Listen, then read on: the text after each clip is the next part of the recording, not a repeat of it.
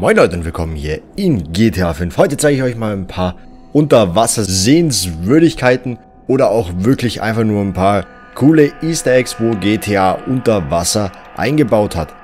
Das erste Easter Egg befindet sich an dieser Location. Das ist jetzt wirklich alles ein bisschen schwierig zu finden. Nicht mehr so ganz easy. Aber ich denke schon, wenn man da ein bisschen nachsucht, sollte man es finden. Und zwar sehen wir, wo ist es denn? Hier so eine Kapsel, welche auch komischerweise beleuchtet ist. Man darf sich normalerweise nur der Kapsel nicht so nah nähern, weil man sonst stirbt, aber ich habe hier so Gottmod-Zeug an, daher ist das kein Problem. Wenn man jetzt hier sich der Kapsel nähert, dann hört man im Normalfall so Klopfgeräusche. Ich war jetzt nur schon zu nah dran, deswegen war das nicht mehr. Ich schwimme mal ganz kurz nochmal fix hin. Dann sollten normal wieder welche kommen.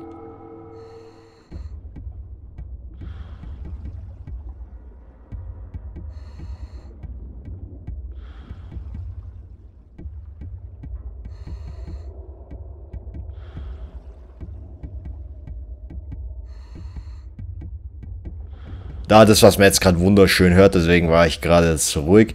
Das Ganze ist in Morsecode und soll übersetzt You never call. How do you fancy going bowling? Das heißt in Deutsch übersetzt so viel wie du rufst nie an. Hast du Lust auf Bowling? Das Ganze soll generell auf Roman Bellic anspielen. Das ist von GTA 4 der Cousin von Nico Bellic. Ja, der hat euch meistens, oder die meisten, wo es gespielt haben, die müssten es kennen, der hat euch ein bisschen terrorisiert mit ein paar Telefonanrufen. Ja, und darauf soll das Ganze anspielen. Gut, das war die erste Sehenswürdigkeit. Ich würde sagen, kommen wir zur nächsten. Und hier sind wir auch schon an der zweiten Location. Ich weiß, die Locations sind immer zu zeigen, ist wirklich relativ schwierig. Aber ich gebe trotzdem mein Bestes, damit ihr überhaupt ein bisschen wisst, wo. Das ist eigentlich unter der Militärbasis, beziehungsweise neben der Militärbasis, hier mitten im Ozean. Ich weiß nicht, wie ich am besten hin, hinzoome. Ich zoome einfach mal von ganz weg, ganz hin genau da, wo ich bin. Wenn wir hier sind, dann sehen wir so ein Schiff, das ist so ein bisschen ein Anhaltspunkt, das hier. Darum geht's aber gar nicht, sondern es geht um diese Leiche. Wurde, hier wurde kein schönes Ende für so Dings da Bums da, wie sagt man dazu, bereitet. Es gibt wirklich, glaube ich, schönere Arten als so aus dem Leben zu treten. Und zwar heißt es, dass diese Leiche in einen Mordfall verwickelt war. Diese wusste einfach zu viel und wurde deswegen hier versenkt. Ob das Ganze wirklich so stimmt oder wie auch immer, ist, glaube ich, meiner Meinung nach, soweit ich weiß, nicht bestätigt. Ich habe da einiges probiert rauszufinden, aber wirklich leider nicht allzu viel gefunden. Nur eins ist ganz klar, so abgehen will niemand. Gut, kommen wir zur nächsten Location. Und hier sehen wir noch eine dritte Sehenswürdigkeit, was auf jeden Fall nicht ausfallen darf. Ich weiß es nicht, was für eine Geschichte dahinter steht. Auf jeden Fall finde ich es wirklich sehr krass gemacht und richtig cool eingebaut. Die ganze Location, das ist hier oben, wirklich fast ganz oben von der Map, über dieser komischen Stadt, wo auch normalerweise die Polizeistation ist und irgend so ein Waffenladen. Genau hier. Wenn wir hier sind, dann sehen wir lauter Flugzeugteile. Es ist auf jeden Fall ganz klar, was hier passiert ist. Gut, ganz klar ist es nicht. Man weiß es nicht. War es ein terroristischer Anschlag? War es irgendwas anderes? Hier an der Location ist auch kein Geldkoffer normalerweise versteckt.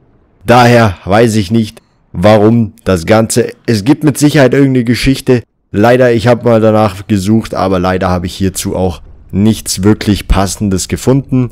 Ich habe nur gesehen, hier auf der anderen Seite, hier sind überall so Gerippe, sage ich mal, von den Flugzeugteilen, denke ich mal. Ich kann mir jetzt nicht vorstellen, dass es irgendwas anderes hier sein sollte. Das ist alles schon wirklich sehr eingewachsen und man sieht ja auch, es hängt in den Steinen mehr oder weniger drin. Ob es gewollt ist oder nicht, weiß ich nicht. Hier ist auf jeden Fall noch der hintere Teil vom Flugzeug. Ist auf jeden Fall schon sehr krass, was die sich alles hier einfallen lassen. Und ich bin wirklich selber mehr als gespannt, was es noch alles hier gibt. Weil ich denke mal auch die Unterwasserwelt von GTA kennt keine Grenzen. Was ist denn hier drüben noch? Wieso schwimmt da irgendwas? Das interessiert mich gerade noch. Aber ich denke mal, das ist einfach nur Scheiße, wo da rumschwimmt. Ja, nichts. Nichts Tolles. Wie gesagt, ich, ich skippe natürlich noch viele weitere Unterwassersehenswürdigkeiten, aber diese werdet ihr in einem anderen Video sehen, wenn ihr das natürlich wollt. Aber von sonst, ansonsten war es von meiner Stelle auch schon wieder. Wenn euch das Ganze gefällt, lasst doch einen Daumen da.